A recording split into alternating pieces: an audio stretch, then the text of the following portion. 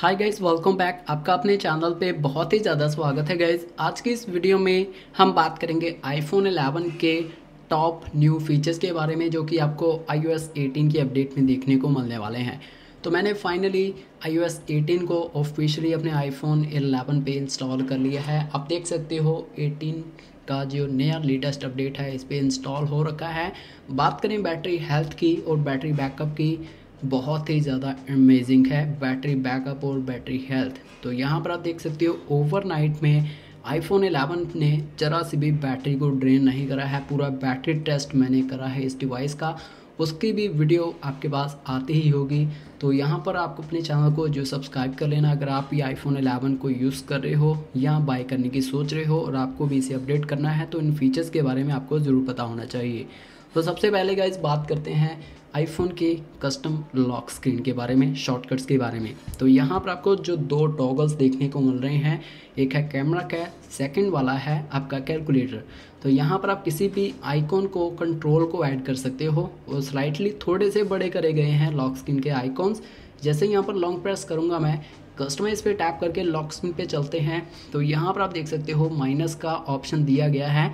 Minus के ऊपर tap करके आपको प्लस के बटन पे टैप करना है। तो ये सारे कंट्रोल्स हैं जो कि आप डायरेक्टली सिंगल टैप करके इनेबल कर सकते हो। और यहाँ तक कि आप किसी भी एप्लीकेशन को भी ऐड कर सकते हो। सबसे पहले उसको आज शॉर्टकट क्रिएट करना पड़ेगा एप्लीकेशन को ओपन करने के लिए। उसका आइकॉन आप अपनी लॉक स्क्रीन के ऊपर सेटअप कर सकते हो। किसी भी एप्लीकेशन को लॉन्च कर सकते हो डायरेक्टली अपने लॉक स्क्रीन के ऊपर से। तो जैसे कि मैं यहाँ पर शाहजहां का टॉगल ऐड करना चाहता हूँ। तो इस तरीके के आप देख सकते हो लॉक स्क्रीन पे शॉर्टकट्स के जो आइकॉन्स हैं कंट्रोल्स हैं, उन्हें आप ऐड कर सकते हो। तो यहाँ से आपको कंट्रोल्स ये सारे के सारे देखने को मिल जाते हैं। कैमरा से रिलेटेड क्लॉक्स के रिलेटेड कनेक्टिविटी से रिलेटेड टॉगल्स दिए गए हैं डिस्प्ले के ब्राइटनेस और साथ में यहाँ पर डार्क मोड लाइट मोड के बारे में। और साथ में म्यूज़िक हैप्टिक्स का भी आइकॉन दिया गया है। जिसके साथ आप अपने हैप्टिक्स को एंजॉय कर पाओगे, अपने म्यूज़िक को सुनने के टाइम पे। उसके के बारे में भी एक अलग से वीडियो मैं अपलोड करूँगा अपने चैनल पे। तो यहाँ पर कुछ और एसेसिबिलिटी से रिलेटेड कंट्रोल्स दिए जाते हैं। रिमोट का है शॉर्टकट का है साउंड का है ट्रांसलेट अनलिमिटेड यानी कि कस्टमाइजेशंस आप अपनी लॉक स्क्रीन के ऊपर कर सकते हो। तो आपको कैसा लगा ये आईफोन की लॉक स्क्रीन का नया फीचर मेरे को कमेंट करके ज़रूर बताना। सेकंड नंबर के ऊपर आ जाता है, जो सबसे बड़ा चेंज करा गया है, वो है कंट्रोल सेंटर कंट्रोल सेंटर की लुक को टोटली चेंज कर दिया गया है। तो ये है कंट्रोल सेंटर आप देख सकते हो। सबसे टॉप के ऊपर दो आइकॉन्स दिए गए हैं प्लस का और शट डाउन पावर ऑफ़ का। जैसे ही मैं यहाँ पर प्लस के बटन पे टैप करूँगा तो आप यहाँ से किसी भी कंट्रोल को ऐड कर सकते हो। ऐड ए कंट्रोल की ऑप्शन के ऊपर टैप करो। और यहाँ से आपको सारे कंट्रोल्स देखने को मिल जाते हैं, जो कि आपको वहाँ पर लॉक स्क्रीन पे देखने को मिलते थे। उसके अलावा कुछ और नए कंट्रोल्स हैं जैसे कि कनेक्टिविटी ब्राइटनेस और टेक्स्ट के साइज़ से रिलेटेड ये सारे के सारे अनलिमिटेड कंट्रोल्स दिए गए हैं। ये सारे के सारे असेसिबिलिटी के फीचर्स हैं, जो कि आपको सेटिंग्स में देखने को मिलते थे। वो सारे असेसिबिलिटी के फीचर्स जो हैं, वो आपके कंट्रोल सेंटर में ऐड करे गए हैं iOS 18 के अपडेट में। और जैसे ही मैं यहाँ पर स्वाइप अप करता हूँ तो अनलिमिटेड कंट्रोल्स को ऐड करने की ऑप्शन दी गई है। आप बिना रुके किसी भी आइकॉन को, किसी भी कंट्रोल को सेटअप कर सकते हो।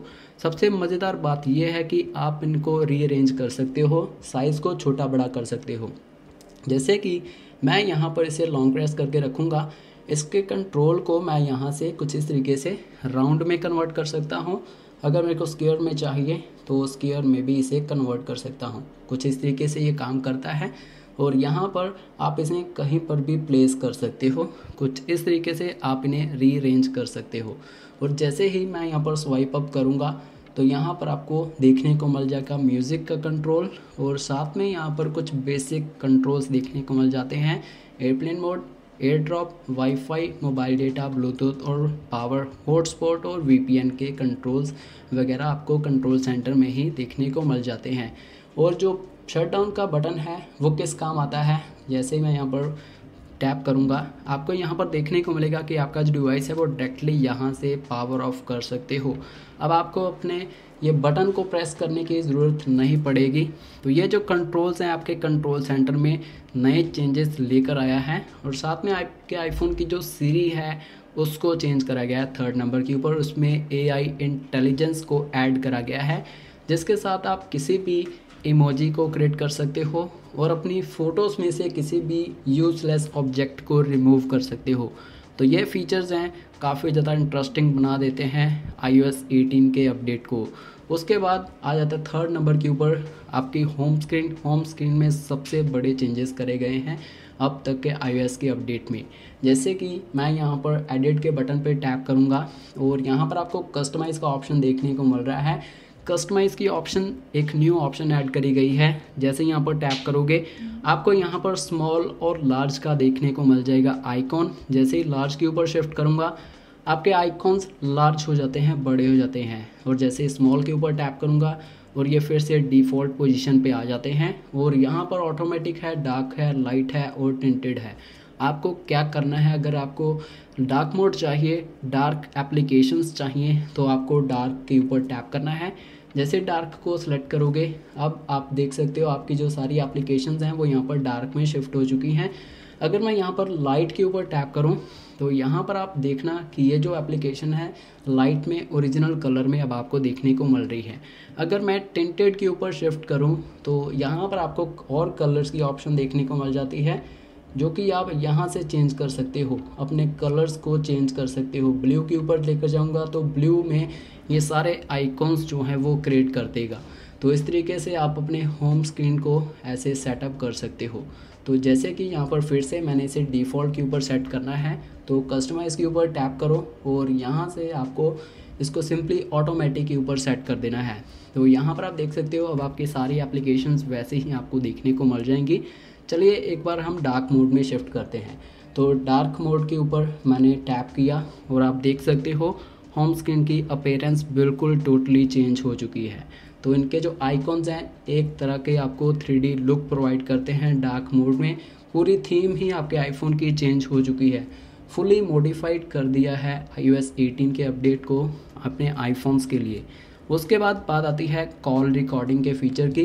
कॉल रिकॉर्डिंग का फीचर भी आपको आई 18 के अपडेट में रिसीव होने वाला है। तो वो आने वाले बीटा अपडेट्स में एप्पल उन्हें इंट्रोड्यूस करेगा।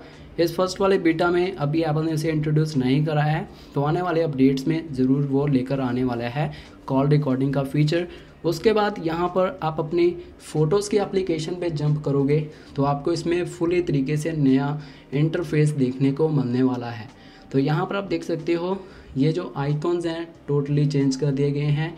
इनकी प्लेसमेंट को चेंज कर दिया गया है और रिसेंटली व्यूड का भी ऑप्शन दिया गया है रिसेंटली सेव्ड का भी ऑप्शन दिया गया है। तो यहाँ से आपको कुछ इस तरीके का नया इंटरफेस देखने को मिलने वाला है। अगर आप यहाँ पर स्वैप करोगे, आपके सामने फेवरेट्स एल्बम आ जाती है। अगर आप यहाँ पर जाते हो कस्टमाइज़ के ऊपर टैप करते हो तो आप अपने फ़ोटोज़ को कस्टमाइज़ कर सकते हो अपने हिसाब से, जहाँ पर भी आपको चाहिए। तो ये जो फ़ोटोज़ का इंटरफेस है, आपको कैसा लगा मेरे को कमेंट सेक्शन में ज़रूर बताना। उसके बाद सबसे मेन बात है आपकी फ़ोटोज़ की एप्लीकेशन में एडिटिंग तो यहाँ पर आप देख सकते हो ये है इसका इंटरफेस एडिटिंग के लिए। तो जैसे मैं यहाँ पर सिंगल टैप करूँगा, अब आपको इस फ़ोटो का प्रीव्यू देखने को मिल जाएगा। तो ये है एडजस्टमेंट का ऑप्शन एडिट के ऊपर टैप करो। और यहाँ पर ये है इसका नया इंटरफेस एडिटिंग का। और यहाँ से जब आप डार्क मोड में शिफ्ट करते हो तो आपको आई एस जैसा इंटरफेस देखने को मिलता है।